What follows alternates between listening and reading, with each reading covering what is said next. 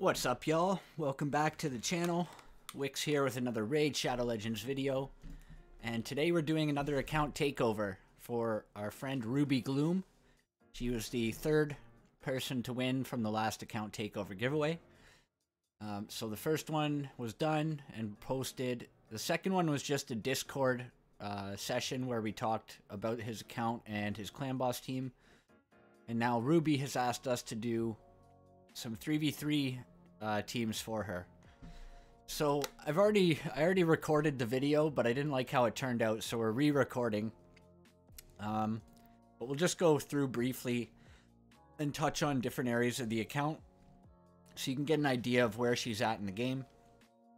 Here with the Great Hall, she's gone for crit damage first, which is a bit unfortunate because you don't really need crit damage that much. Um, what's going to help in Tag Team Arena and in Hard Doom Tower and stuff like that is resistance and accuracy. But it's not bad. I mean, it's the third best, I think, in my opinion. So, anyway, we're going to play to the strengths of that a bit. Um, the account is on day 220. So, kind of in the mid game, getting there. She's uh, clearing normal, I believe. Well, I don't think she's playing this account much, but she can probably clear normal very easily. And working on hard with just a random team here. Um, the only team I didn't touch that I'm not allowed to touch is the clan boss team. Oh, this this clan isn't even can't even fight brutal. Okay, so I guess this is just a throwaway account, so or something. But that's her main name, so I'm a little confused. Uh, anyway, we'll check out the roster. This account has an abundance of strong 3v3 arena champions. Uh, the unfortunate side is most of them aren't leveled. We've got like Ruel, Umbral, Brakus, Rhonda, Gorgorab, and then of these two which I built, Pythion and Duchess. Um, Skathix can be good in a go second team for a cleanser, an immunity cleanser. Uh, we go down even further. We've got Sandlash Survivor, which is an amazing go second champ. Gala, amazing single target nuker. And then there was a Skull Crown. Yeah, Skull Crown as well. So it's just kind of working her way through uh, building all these champions and probably doing faction wars currently. I did uh, go ahead and include Duchess and Py Pythion in the rebuild because those are probably going to be the next two she gets to 60. And they're too good to not use. These two alone can carry your 3v3 teams. And yeah, just looking at some of the builds, we've got a 200, 300 speed Arbiter. I rebuilt the Hurndig for more damage. Um, still a decent amount of accuracy. I switched his accuracy banner for an attack one, but you can switch it back to accuracy if you want him to be a debuffer or if you need him for turn meter control. We got Scyl here, who I would love to see in a high resist build. Also, she really does not need War Master at all. Um, I don't want to use her free reset in case she's using her for dungeons or something. But I would recommend for Scyl you go for resistance, rejuvenation, blast proof. Then you go down here. And then you can do cycle of revenge or you can do retribution. And then you land on fearsome presence. Or if you're having trouble hitting your resistance numbers, you can go to unshakable. And then for your support, you can go accuracy with arcane celerity, evil eye, and spirit haste. Or you can go for more healing potential with Steadfast down here. But I prefer the accuracy route. Because when you're getting into hard Doom Tower, it's really hard to hit the accuracy requirements as well as the resistance. While still building her tanky and in Relentless preferably.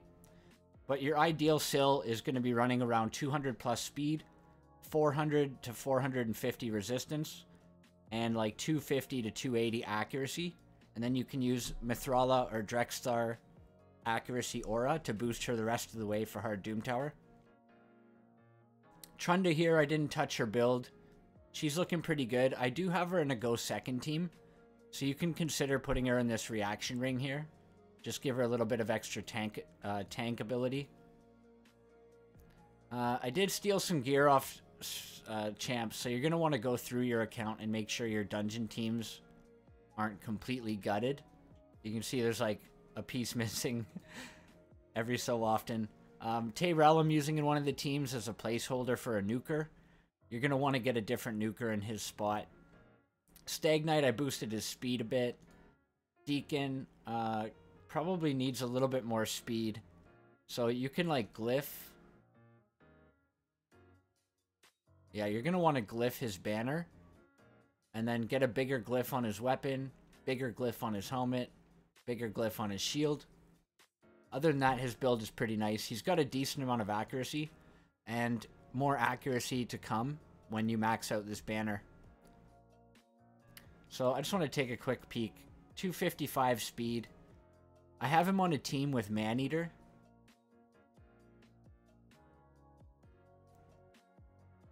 Two fifty six speed. Okay, so I'm gonna throw a glyph on here.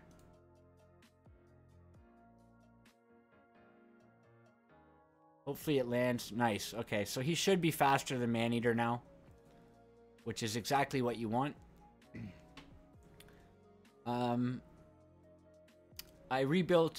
Well, I didn't rebuild Gurgoh. Actually, I don't think I touched him at all, but he definitely needs more accuracy. My preference for a Gurgoh build is you go triple perception, which gives you a ton of accuracy just off the sets, and you build him for damage. So he can be squishy when you use him on a, a speed team, and that's where I would prefer to use him. I did rebuild your Nekmo. Uh, he's got a lot of stuff you can level up here, obviously, during an artifact event. For the purpose of this showcase, I didn't go ahead and use all your silver because we're currently in Bronze 2 tag team, so you don't really need... I didn't really need to go through uh, and level everything up for this showcase. And then down here, we've got Duchess in a regen set, which is a great set for her for not only for Arena, but for PvE, with a reaction ring on. And Pythion is in a shield set. Preferably, you'd get him in a bolster set eventually. Or you can put him in Stone Skin, or you can build him like Duchess. But what you're going to want to do with these guys is max their resistance. And this is where the Great Hall comes into play massively. You're going to want to get at least four, 400 to 500 resistance on your Duchess and your Pythion, while still maintaining around 220 speed and as much hit, hit points and defense as you can.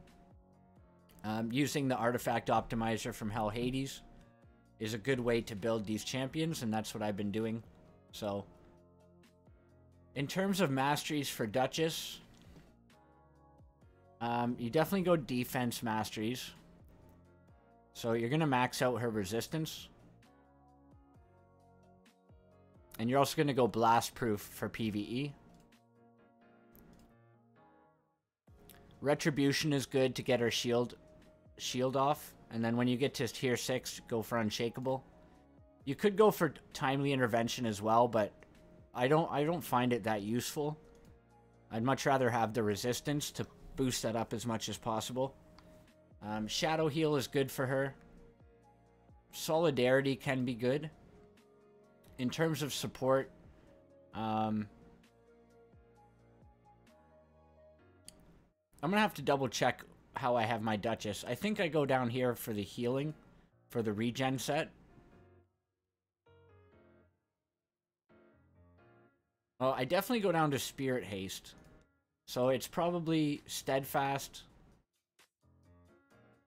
Shield Bearer for more shields. Uh, more turn meter when her buffs expire. Chance to decrease random skill cooldown. Or you can go for Lore of Steel. I think the cooldown is better. And then Spirit Haste. Um, from here you can do Lasting Gifts. Or you can go for the Cycle of Revenge. I think Lasting Gifts is a bit better. So, I'll leave that to your discretion. Pythion doesn't have his masteries, so I won't worry about that. Um, I'm going to see if you have any brews for him, though. Yeah, you've got some Void brews. I'm just going to pump his levels up a little bit.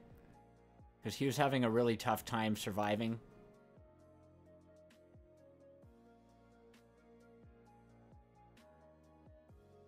Okay, we'll use 20 brews.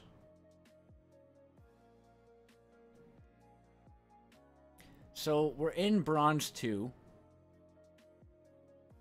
Um, and these were the teams that you were running before. So one thing you always want to keep track of, or keep in mind, is when people are attacking you in 3v3, they're generally just putting their strongest team first, followed by their second strongest team and their third strongest team. At least until you get to higher tiers. Most people are lazy and don't switch it around much. So I usually put my strong speed team in the last slot, and then my weakest team in the top. So I'm going to put in the teams that I had pre uh, pre-built for you, and then I'll set up the AI and I'll be right back. All right, these are the teams that I came up with for you. Um, there's obviously a lot of optimization that will go into these teams down the road when you have new champs leveled.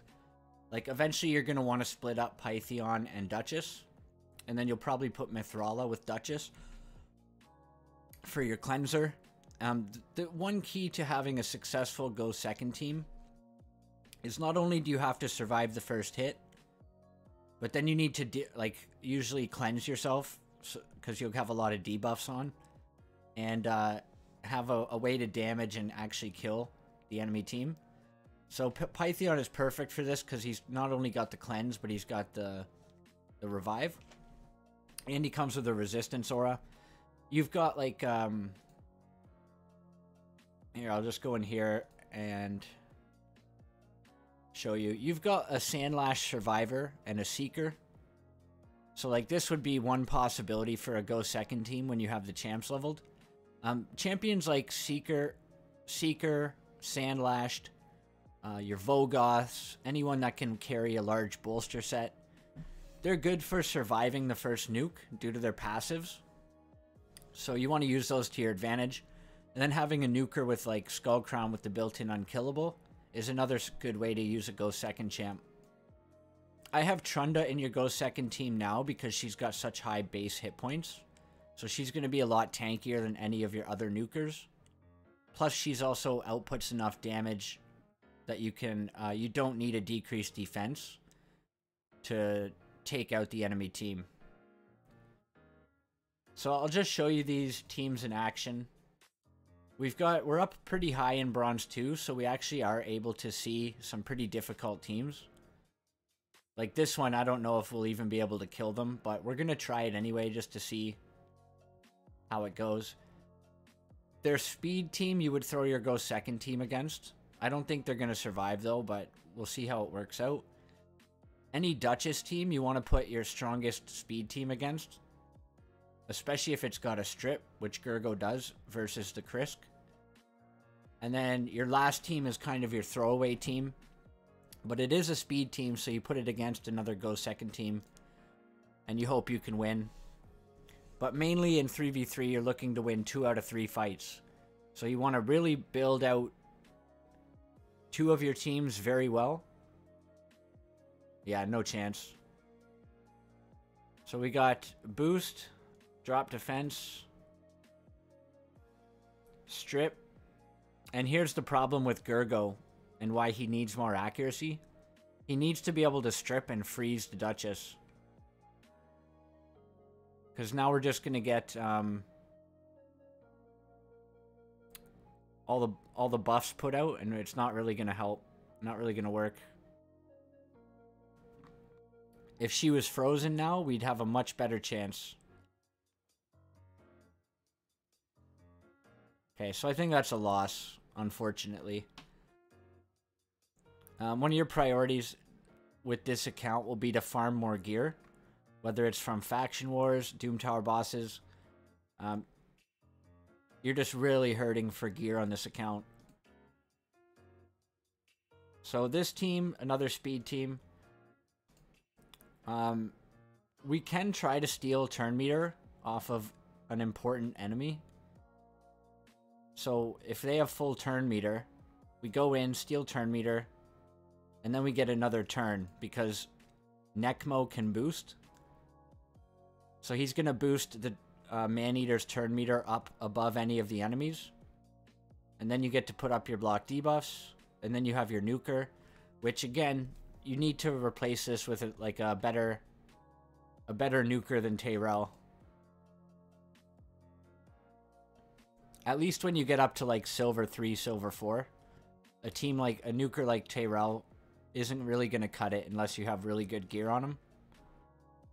But yeah, your your gear is very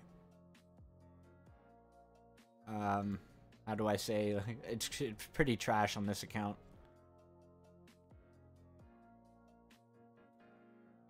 Alright, so this is going to be a loss too. The teams don't have enough damage to cut through the enemies.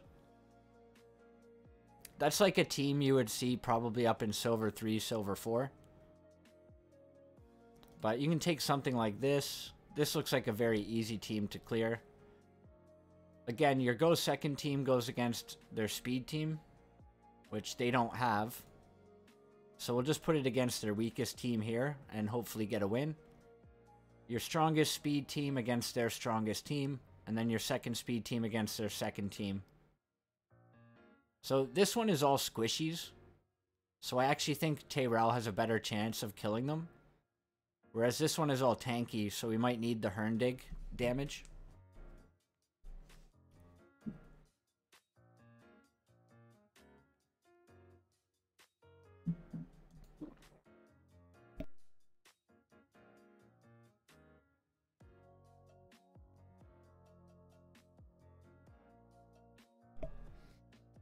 Okay, so again, we'll steal some turn meter.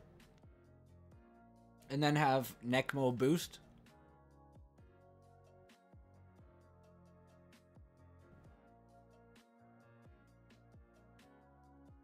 There's our weak ass nuke.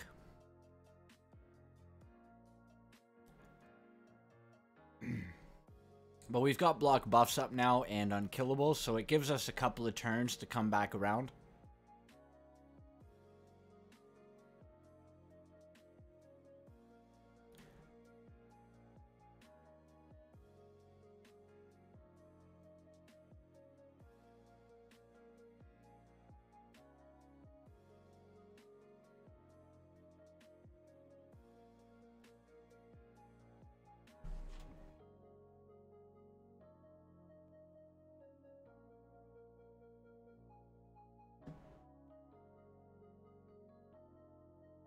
Decrease defense, strip and freeze. Then you single out, uh, if any of them miss the freeze, you want to single those ones out. Unfortunately, they've got reaction. So instead of trying to use this one, this this will only attack twice if the first hit crits. So we'll just use the AoE to try to kill as many of them as we can.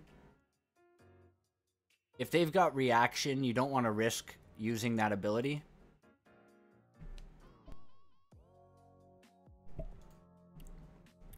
Third team, Scyl, Scyl is just there for revives, heals, and a little bit of crowd control. Ideally, eventually you'll have Pythion as the fastest out of them. And then he can cleanse everybody before they get their turn.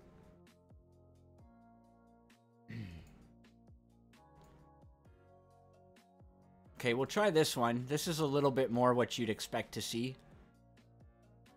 Uh, you would put your Pythion go second against their fastest speed team. And then your other two speed teams against their go second teams.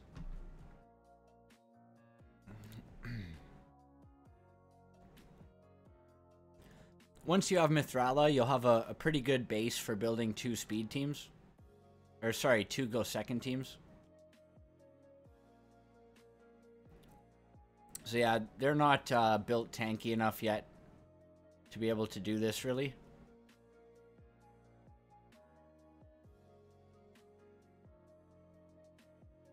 Yeah, they need level 60 and maxed out gear.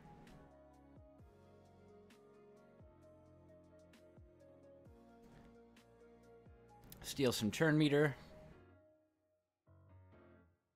Boost us back. Decrease their speed. And nuke.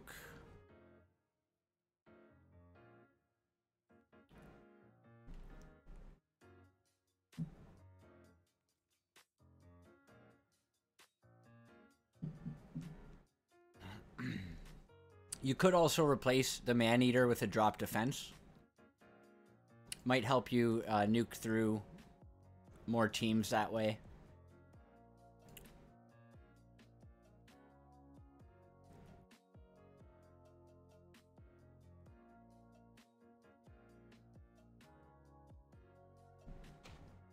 So yeah, the most important part of tag team it's not only having your champions well built, but it's understanding the win condition of your of your team and which teams you can put it up against. so like here we have two speed teams and a Duchess team. This is where you'd want to pull out two go second teams. Because you don't know if you can go faster than either of these, right? So you'd put a go second team against their fastest team. And then ideally a second go second team against their bottom team. In this case, we're gonna run. Uh, we're gonna run this one as a throwaway because I don't. I don't think we'll be faster than their Lissandra, and I just wanted to show you how your fast team here can go against go second teams.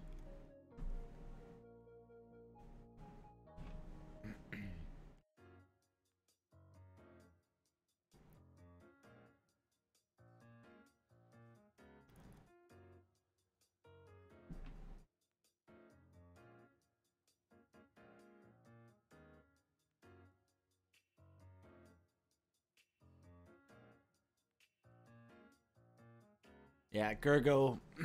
you don't have enough perception gear for me to get Gurgoh where I wanted him. So unfortunately, it's kind of a gimp team at the moment. If Gurgoh can't freeze everybody, it's a little bit, it's a little tough to use him.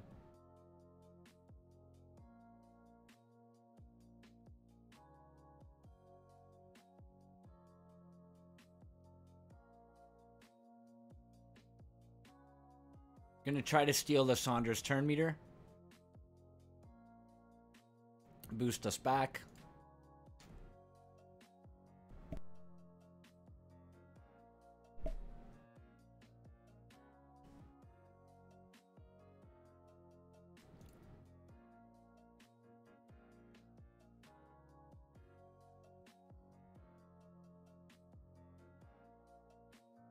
Nice thing about Maneater, not just the unkillable, but the block debuffs as well. So here we need to kill this miscreated monster as soon as possible.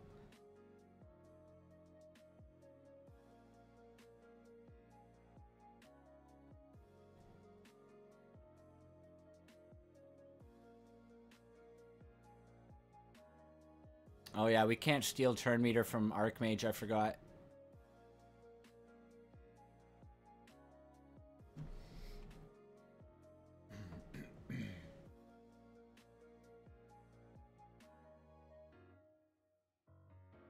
Now we're weak hitting, unfortunately.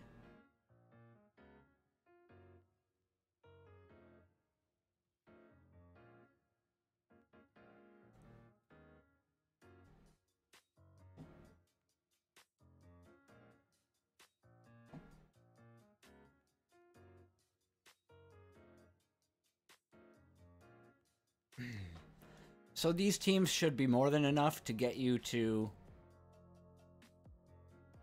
I'd say probably like silver, silver two, so maybe silver three, if you're if you push it. But past that, you're gonna need to do, uh, you need you just need more gear basically. You need a lot more resistances in the Great Hall, more accuracy on your debuffers.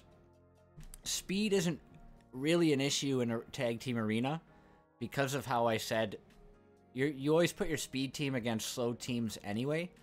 So your only job is to make sure your debuffers can debuff, and your nuker has enough damage to wipe the board. It's the go second teams where the stats really matter. The resistance, uh, the tankiness, the, the debuffers, the damage. So like here, um, we'll just try this.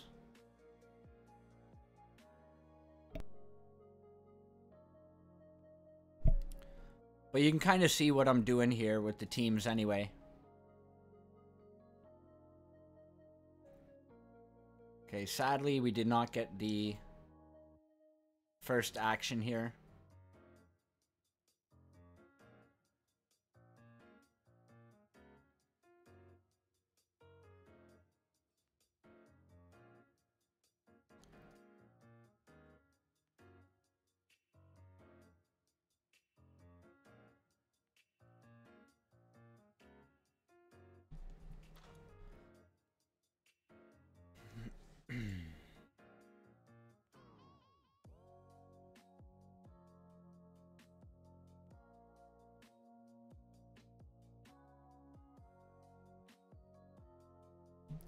But yeah, that's about it. I just uh, set up a few teams I think are going to work well for you. As you get more champions leveled and you get Mithrala and Lydia, you're going to have a lot more options.